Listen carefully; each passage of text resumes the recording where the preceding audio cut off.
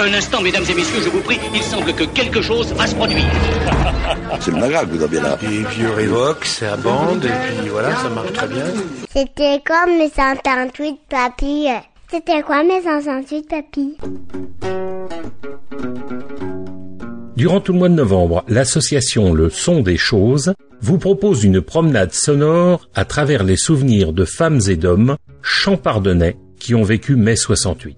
Un bon moyen de répondre à une question complexe. C'était quoi mai 68 Les 22 témoignages sont issus d'un CD, Mémoire de 68 arts et des autres, édité par Le Son des Choses, avec le soutien de la région Grand Est, de la DRAC, du FONGEP, d'Aubéane et des archives de l'Aube ainsi que de la ville de Troyes. Aujourd'hui, nous écoutons le témoignage avec Henri Cousin de l'Aube.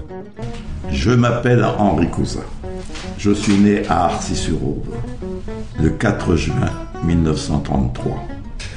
En, quand 68 arrive, les événements arrivent, moi je suis enseignant à Barreville, dans, dans le Barrois, dans, la Côte des Bars, depuis 10 ans. Je me sentais parfaitement intégré. Quand je suis arrivé, j'avais 25 ans, je fréquentais les jeunes du village, on sortait, on avait des, relations, des, bonnes relations avec tout le monde. Euh, disons que professionnellement, bah, j'étais bien accepté, je, faisais bien mon travail, je suppose, parce que les parents euh, étaient satisfaits de, ce que je, de mon enseignement. Donc c'était très bien. Hein.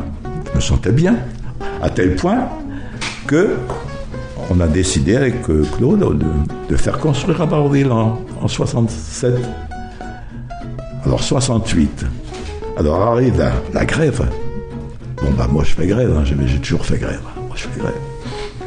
Alors là ça, passe mal déjà, on sent qu'ils sont pas d'accord hein, parce que un instituteur il est là en train de faire grève alors qu'à Paris on brûle les voitures c'est quoi ça, euh, tu vois, euh, l'inquiétude. Euh, il fait partie de, des révolutionnaires.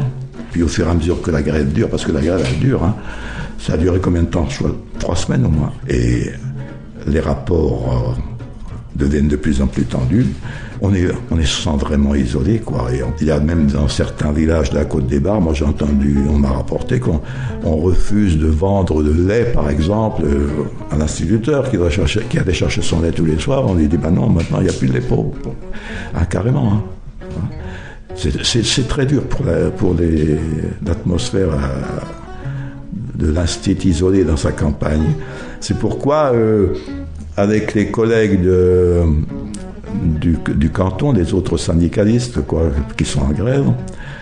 On fait, on fait une tournée, on va voir les, collègues qui sont en grève pour, pour leur apporter leur soutien. Et puis on, passe aussi chez ceux qui ne sont pas en grève, il y en a quelques-uns, pour essayer de les inciter à rejoindre le mouvement. Quoi.